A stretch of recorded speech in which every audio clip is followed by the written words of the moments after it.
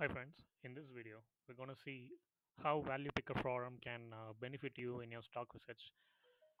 So close to almost a decade I've been following this forum and uh, so they have a very good uh, resource in terms of uh, how a beginner can uh, start in a stock market so, and also they have some templates for you to get started. So they have been uh, since 2009 and which is when the bear market was started and they have some excellent resources that's already contributed by their community members. So you can actually see this is the dashboard that i am in and uh, so they have a thread threads for each company. So if you for example if you want to study about uh, avanti feeds so you can actually see uh, what uh, the 2000 other comments that was shared by the members So I would strongly recommend uh, you to be a part of this. So before you invest in any stocks, so just check if there is any thread available in ValuePickr Forum, so that you might again find any red flags that you didn't find while you did your own research.